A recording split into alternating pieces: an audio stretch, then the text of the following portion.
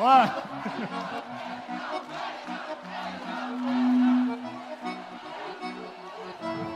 E queria dizer a vocês, mulheres, que ouçam canções que ajudem a sorrir a autoestima de vocês.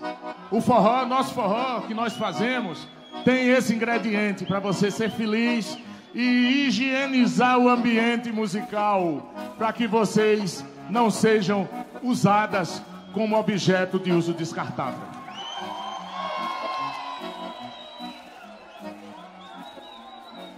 Ana Maria, por seu querer beijar a sua boca e ser de você.